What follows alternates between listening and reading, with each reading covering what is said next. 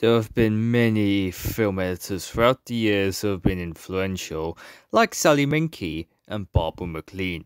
Today, however, we're going to be looking at the woman who has been editing all of Martin Scorsese's films since Raging Bull in 1980, Film Machine Maker. First, we'll look at the film that won her the Academy Award for editing, Raging Bull. Raging Bull is based off professional boxers Jake LaMotta's memoir, and Schoonmaker's editing helps tell the story in an appropriate way. An example of this are the boxing scenes. Depending on where they are taking place, they are edited to reflect this.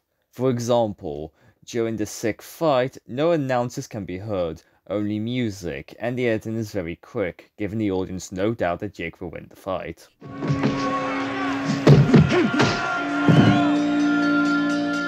In contrast, during the final fight, the shots lose any sense of continuity in time.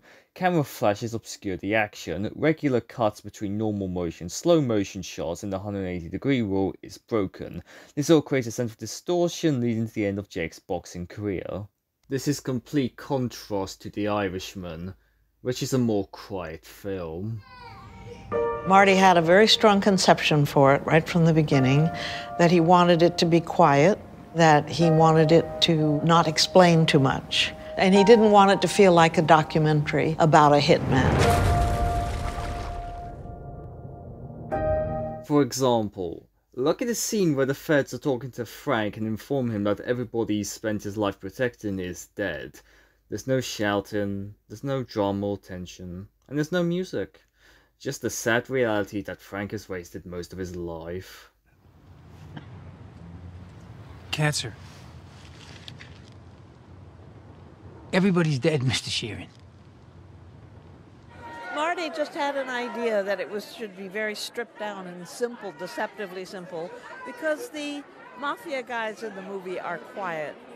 In contrast, Raging Bull is a very loud film, as evidenced by this scene. Oh, you're supposed to be a manager. You're supposed to know what you're doing. I did just what I wanted to do. That's what I'm worried about. You did. It. You want a title shot?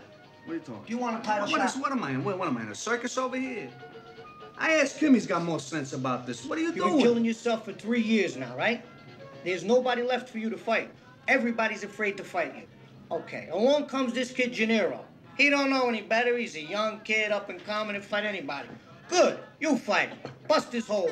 Tear him apart, right? What are you worried about? What's the biggest thing you got to worry about? Weight? worried about the weight. You worried about the weight? What are we arguing about for? I just said the weight. Okay, let's say you lose because of your weight. Are they gonna think you're not as tough as you were? You're not the same fighter? The way that Thelma Schoonmaker's edited this scene, by showing the characters almost always talking on camera and then off, and by cutting between still shots, this allows the viewer to focus on the drama and not get distracted by anything at all. Even Scorsese gave up on this one and walked out, and uh, I just kept plugging away at it until I got it. But what rich material I'm working with, I'm very lucky. It's just plugging away at it, and that's part of your job as an editor. It can be, patience is one of the most important things in editing, I think. Um, and you just have to keep trying until you get there. In conclusion, Thelma Schoonmaker is one of the greatest editors of all time. Her editing is amazing, she has edited some amazing films, and her legacy will never be forgotten by anyone, especially film editors.